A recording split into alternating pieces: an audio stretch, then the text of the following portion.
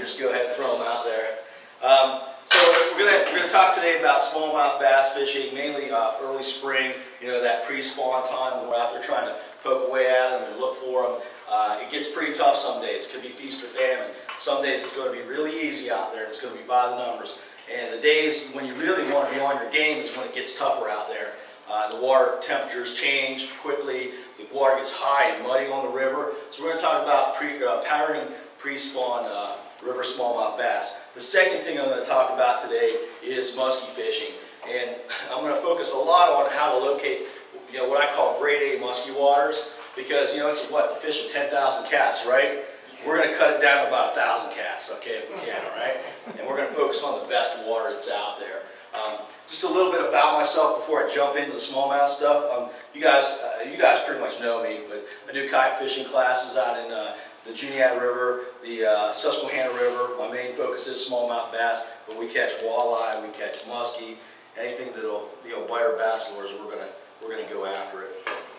So um, the things I'm going to talk about in terms of the, the smallmouth, the pre-spawn smallmouth, is going to be locating, locating early spring smallmouth. That's really critical. You know, you, you can have, you know, I've got 10 baits here, right? And so if I'm throwing these baits where the fish aren't, I'm not going to catch anything. A lot of times if you can find a fish, you're going to be able to catch those fish on more than one presentation. So my focus is always first, let's find the fish, and then we're going to fine tune our presentations from there.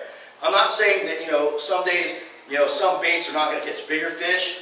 Some days, some of your baits are going to catch more fish. But I want to find those fish first. Then the second thing I'm going to do is talk about early spring smallmouth presentations. That's really critical because, like I said, you've got, you know, the easy clear water, green water, you know, warming temperatures and everything's on the rise, and that's pretty easy. But then all of a sudden you get that cold rain, cold front, high muddy water. How do you, how do you adjust to that? And so I'm going to talk about some general rules of thumb that you can use to adjust to those conditions out there on the river so you can keep catching fish.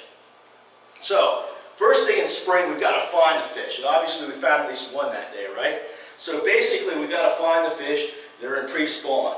And here's how I approach that.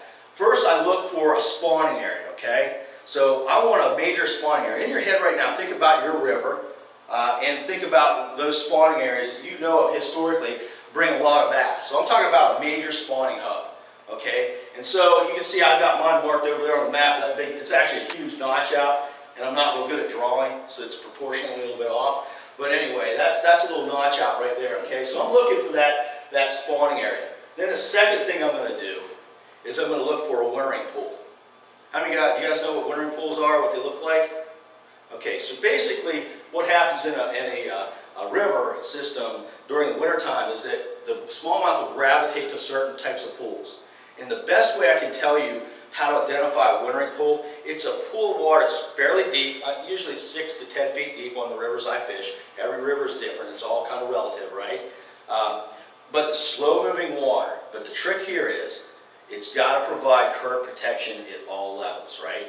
So when that water starts pumping in the spring, if there's no place for those bass to go and that, that hole is blown out, that's not going to be a, what I call a grade A wintering pool, right? It's going to be like a grade B or C.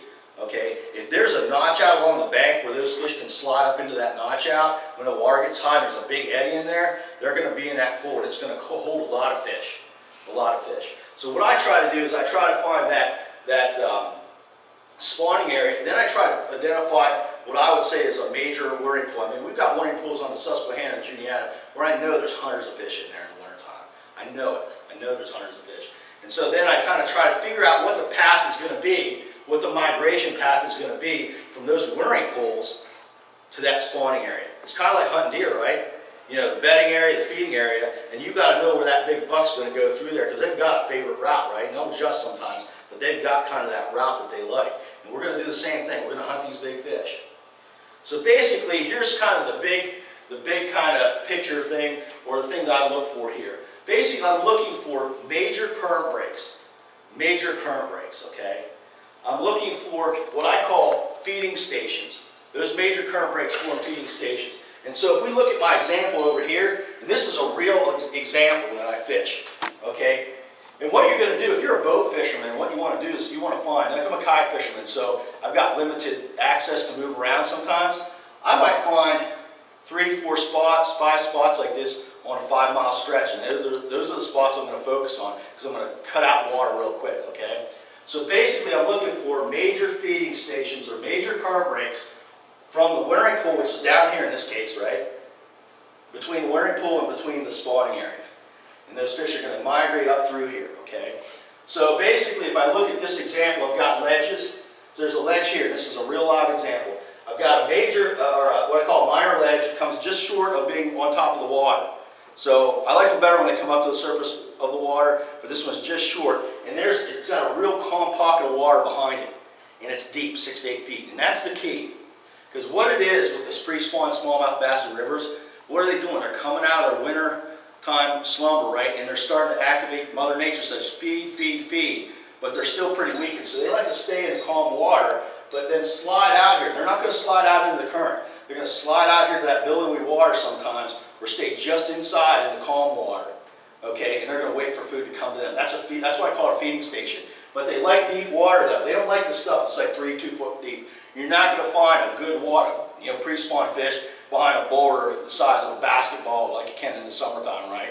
You, have got to have these big major, uh, major kind of current breaks. So this is one current break here that's pretty darn good. Over here, there's actually, in this uh, piece of river, it's actually a, a, cliff. And there's rock, chunk rock that's falling down in there. And it's not actually visible. We found this through uh, using electronics and so forth. There's a pile of rock down there. And again, there's a really calm pocket right behind that rock that about six, there's six feet of water there. And that's another place where this pre-spawn fish are going to pull up there and hold up. The next place we're looking at is bridge pilings. This, this water is loaded with good spots uh, between the wintering pool and the, and the spawning pool. So we look at bridge pilings. And you can see here, six feet, six feet, three feet, three feet. My money's on these ones, okay? My money's on these ones because it's deep water, really calm water. It's a good feeding station. It's where they have access to the current, okay? So we got another set of bridge pilings down here about four feet, that's okay. The cool thing we have here, I have on kind of my, my little list here of things to look for, is a little, what I call a carve out. You ever see a river where the current scoops out the gravel and stuff? It makes almost like a bowl, it's like a pool in there. And, and it's just the way the current moves through there. And right here, there's a carve out. What's happening actually, I, I think what's happening, okay, there's a, I think there's a ledge. This is three foot of water right here. There's like some kind of ledge, and that water's banging against that ledge, and it can't can't move the ledge, right? And it's just carving out stuff in front. Okay, so it's carving out the gravel, carving out the chunk rock, and actually you can tell the current actually deflects out into the middle of the river here, really strong. But in here, there's an eight-foot bowl, and it's pretty calm. And there's pre-spawn fish like that. So they're looking for deep water, they're looking for calm water, they're looking for stuff where they've got really easy access to, to, to the currents they can feed, but they're not going to go out in the current. They're just not going to go out in the current. So what I typically do is my strategy here, I start the closest to the spawning area. Okay, now you know, I've heard a lot of guys that fish for pre-spawn fish in the lakes and stuff like that, they start deep and start to move up shallow. Um, here's what I do in the river. Now, number one, I talked about the, the, the wintering pool, right? So when we're fishing the wintering pool, usually we're catching the fish in the middle of the deadest, calmest water in that pool, a lot of times. What starts to happen towards the end, this time of year, right now it's happening, they, they start to increase their feeding, the pace of their feeding, right? Like my buddy just sent me some pictures, it's a guy. He's like, man, they're starting to feed now. They're still in the wintering pools, but what they're also doing, you'll notice, is they're moving to the top of the wintering pool and the bottom of the wintering pool because they're getting ready to disperse. That's your clue. So a lot of guys say, what's the water temperature that all this happens at? And I say, let the fish tell you when it's going to happen fish those wintering pools, see what's going on there. And if they're starting to move to the top and the bottom, and you know, like we're, we're fishing for five, ten bites in the wintertime, and all of a sudden you're getting five, ten bites an hour, and those fish are at the top and bottom, that's your time to think, man, those fish, I think some of those fish are going to make a break. And here's what the research tells us about the big, big spawning females. The first females, the biggest females are going first usually, right? So that's why in my mind, I'm fishing for the big fish. I want those big fat fish like you see on my pictures there, right? So I'm going up here by the spawning area first. I'm working my way backwards. I'm not going to start down here by the wintering pools and work my way up. I want to hit those biggest fish first. So I'm going to start on this ledge right here. I'm not going to talk about presentations, okay? I'll talk about that in a couple minutes. But I'm going to start here with my lure presentations and start fishing here. If I don't catch anything, I'll go here. Go here, just keep backing off till I start hitting fish. So sometimes I'll hit, hit some fish here, hit a couple fish here on this, this poly, this poly. You know, I might hit one or two here. What I'll do then is once I kind of locate some fish, a lot of times one spot will be stronger than the other. Okay, I'll just start making a little run here in a circle on those spots then.